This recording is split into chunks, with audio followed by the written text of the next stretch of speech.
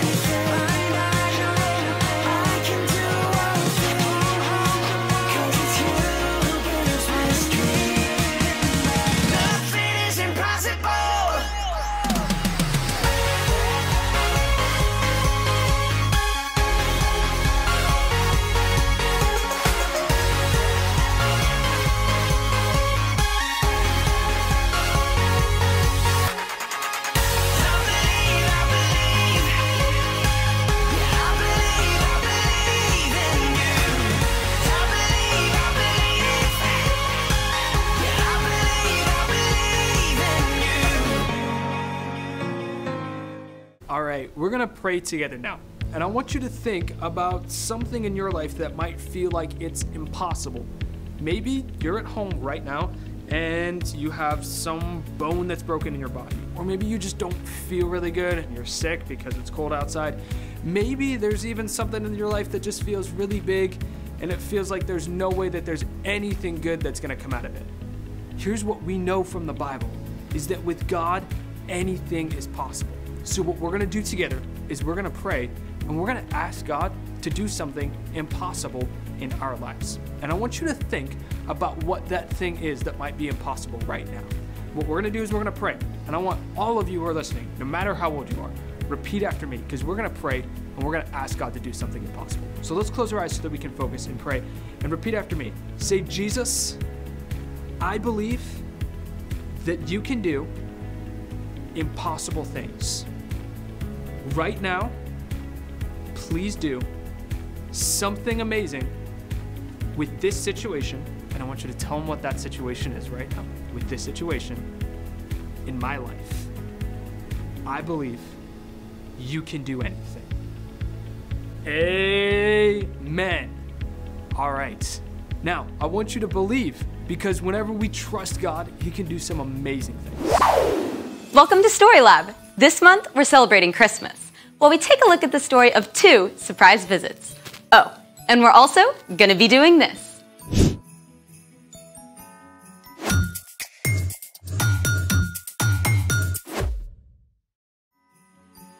Hey, I'm Skylar. And I'm Sebastian.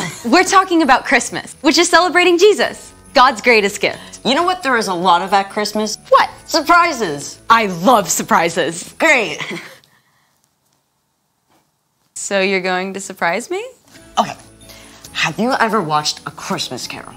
Yes, well, there's the Scrooge. Every fool who goes around with a Merry Christmas on his lips should be boiled in his own pudding and buried with a stake of holly through his heart. And he's visited by three spirits that help him understand the true meaning of Christmas. So you are going to get three surprise visits. By what or who? Just be patient. Now, you know what happens in your body when you get startled? Here, look at my hand. Is it shaking? Nope. So why? Now you're shaking. well, yeah, I wasn't expecting a six foot polar bear thing. Exactly. You got startled. When you're startled, a part of your brain called the hypothalamus is triggered. The hypothalamus sends signals to the adrenal gland, and your whole system floods with adrenaline, causing your heart to pump blood more forcefully to your muscles. My heart is definitely pounding. But you don't actually need to run for your life. Yeah, he's he's kind of cute. Just cuter over here. Right, so your parasympathetic nervous system has kicked in and stopped the adrenaline and lower your heart rate back to normal. Just in time for another visitor. I'm not going to tell you. Okay, we can't do this all day. There is nothing that you can do that's gonna. Whoa! That is strong! What is that? Your next surprise visitor, Yes, but what is it? Limburger cheese, one of the stinkiest foods in the world. It smells like feet! It's fermented with the same bacteria that makes your feet smell. Blah. I'm ready for an unsurprised visitor. It's time for. The story before the story. Today, we're in the third book of the New Testament, Luke.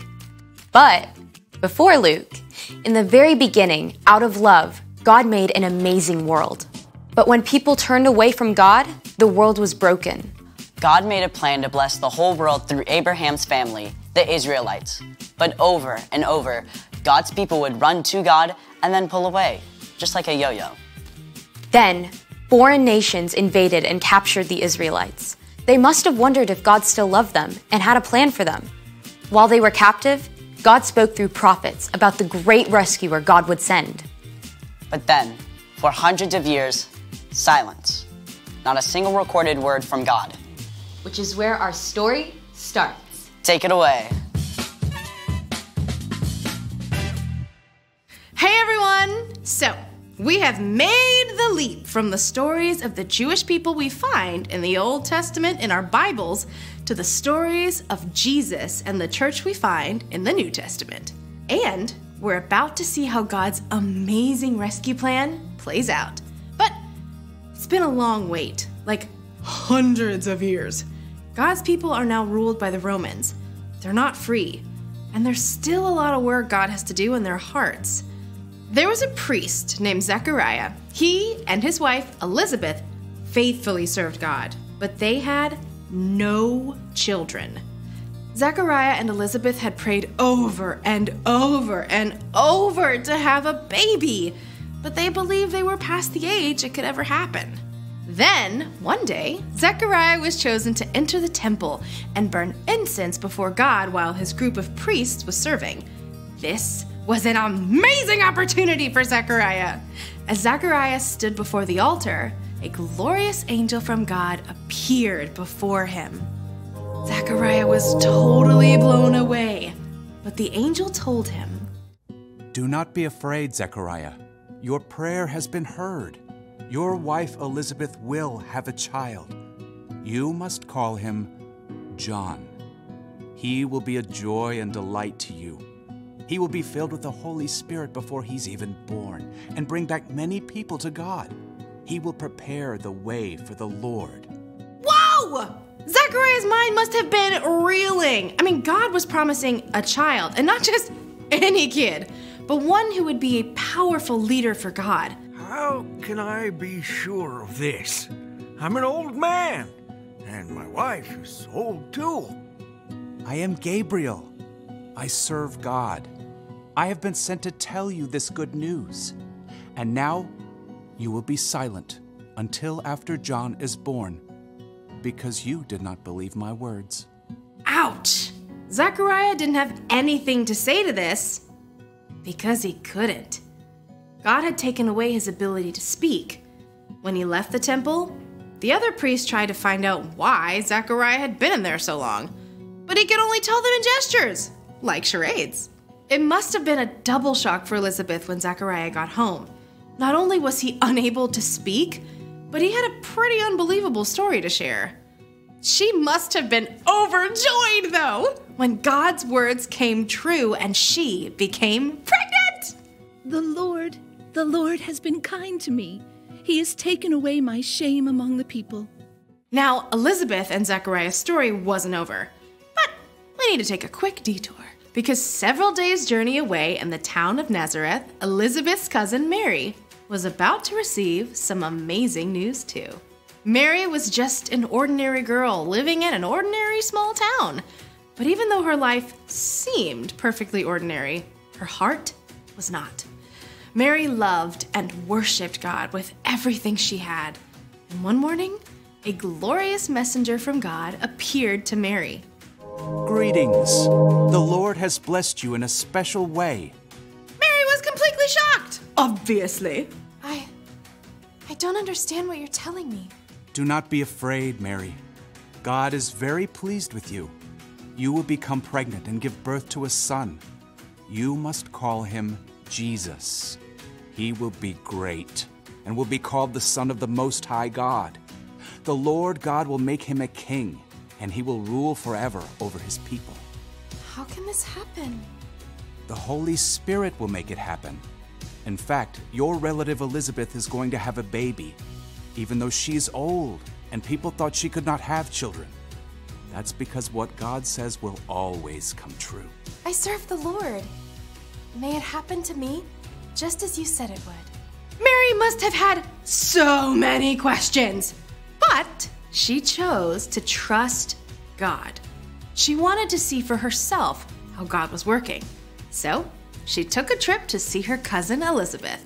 It would have taken days of hard travel, but at last she arrived in the hill country of Judea where Zechariah and Elizabeth lived. Elizabeth, it's so good to see you. God has blessed you more than any other women, and blessed is the child you will have. But why is God so kind to me? Why has the mother of my Lord come to me? Wha- How, how did you know? As soon as I heard the sound of your voice, the baby inside me jumped for joy. You are a woman God has blessed. You believed that the Lord would keep his promises to you. Mary stayed with Elizabeth several months. During that time, the joy in her heart overflowed. My soul gives glory to the Lord. My spirit delights in God, my Savior. He's taken note of me, even though I'm not considered important. And after three months, Mary went home. Soon after that, it was time for Elizabeth to have her baby! All of Zachariah and Elizabeth's relatives turned up to celebrate. Oh, hi there, little Zachariah. No, he must be called John. Oh, but no one else in the family has that name. Everyone turned to Zachariah to get his say, but of course, he still couldn't talk. So he gestured for something to write with. Zachariah wrote, His name is John.